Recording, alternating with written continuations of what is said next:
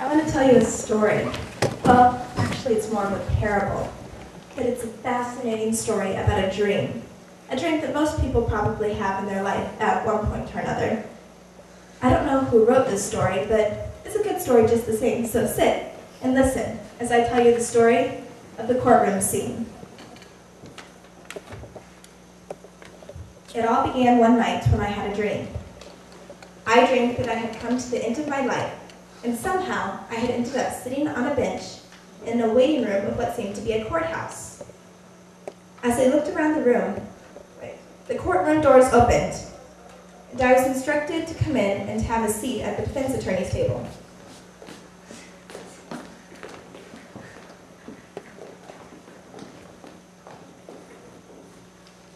As I looked around the room, I saw the prosecuting attorney. He was a villainous looking person who snarled as he stared at me. He looked foreboding and was definitely the most mean looking person I had ever seen. As I looked to my left, there sat my defense attorney. He was a kind and gentle looking man whose appearance seemed so familiar to me that I felt like I knew him.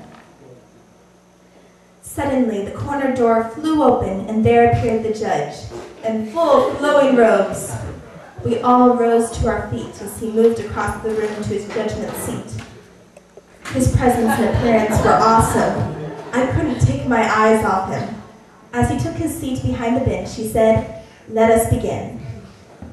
The prosecutor rose and said, My name is Satan, and I'm here to show you why this sinner belongs in hell.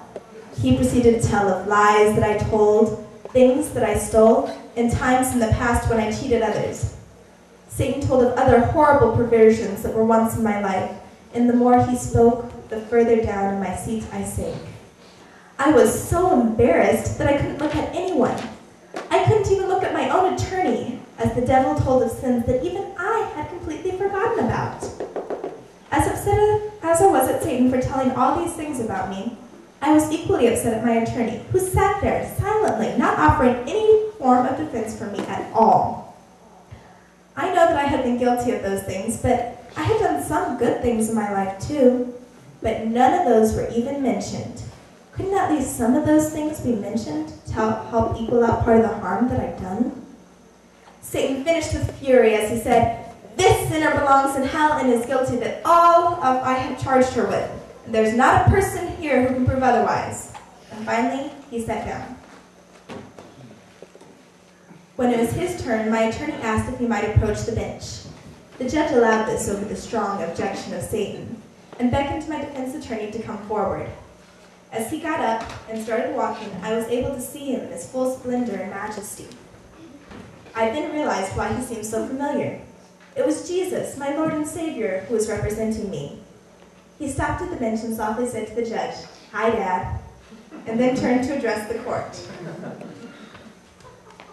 Satan was correct in saying that this woman has sinned.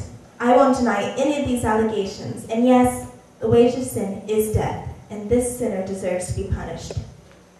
Then Jesus took a deep breath, turned to the judge, his father, and with outstretched arms proclaimed, However, I died on the cross so that this woman might have eternal life. She has accepted me as her Savior, so she is mine. I have traded places with her. I have paid for her sins. She is forgiven. Her name is written in the book of life, and no one can snatch her from out of my hand. Satan has been notified of this, and yet still brings these accusations against my friend. However, this woman is not to be given justice, but grace. Jesus sat down by my side.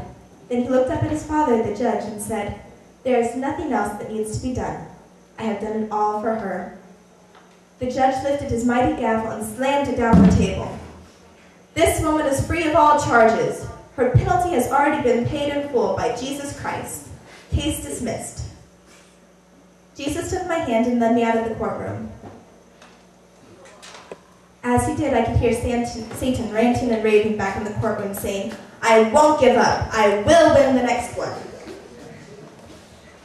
As Jesus and I paused there in the hall, I asked him, Have you ever lost a case? Lovingly, Jesus smiled and said, Everyone who has come to me and asked me to represent them has received the same verdict as you, paid in full.